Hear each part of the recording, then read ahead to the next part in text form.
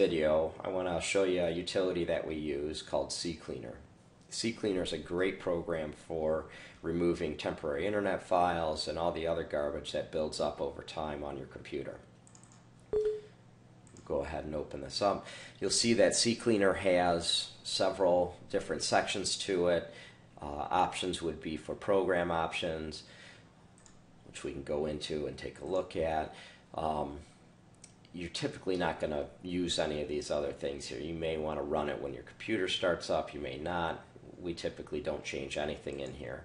Tools, this will allow you to uninstall programs or look at your system restore settings and allow you to remove them, see what's starting up on your system. If you're needing to get into these items, you're usually going to do this through another utility. Like for instance, if you want to uninstall a program, you're going to go into control panel and uninstall the program. Registry integrity, um, this usually finds a couple of things, but there's hundreds of thousands of different entries inside of the registry. And so if you find six entries that are kind of dead end, um, it's not going to make any difference on your system. So we typically don't run this. Cleaner, which is what we use CCleaner for, this is really what the program's going to help you with. It's going to remove all the garbage that accumulates on your PC over time. Now I want to draw your attention to a few spots on the Cleaner tab before we run it, uh, just so you're aware of some things you may want to be concerned with. So one of them is autocomplete form history. Now, if you go on a website, and whether it's a forum or a banking site or something that makes you fill out a form, if you start typing in, it autofills that information. That's what this option is talking about. So if you start typing in a username and it auto populates and you like that feature, or you go to a site that has a username that auto populates and then it pops in your password, if you select this item, this will delete that password and that username. So if you want to keep those, make sure that this is deselected. Another thing you may want to do is recent documents. This is the short list of documents that you've opened in various programs. If you want to keep that short list, you want to deselect that also. Another thing is thumbnail cache.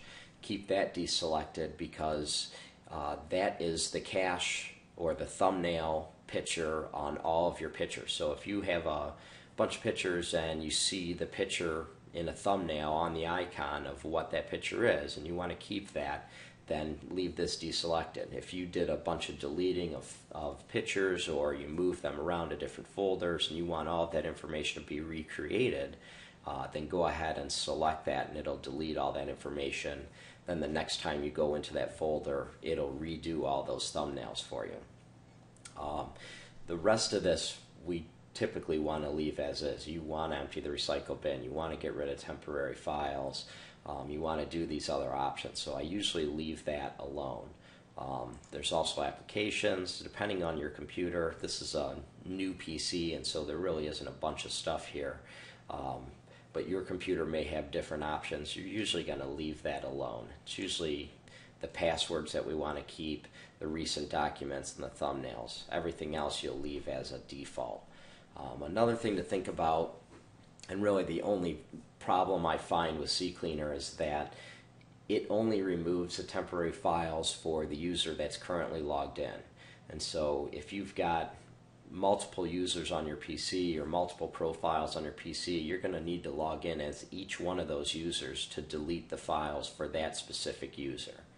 Um, but that's really not a huge problem, especially for a free program. This does a great job of finding all of the uh, temporary files that programs put in there and, and that accumulate over time, and that will slow down a PC over time. Um, you know, newer PCs, you don't notice all these files building up just because of the speeds, but an older PC, you'll really begin to notice when you get into a uh, a section or a file folder that has thousands of files in it because when it goes to reference that, it's got to look through all those files.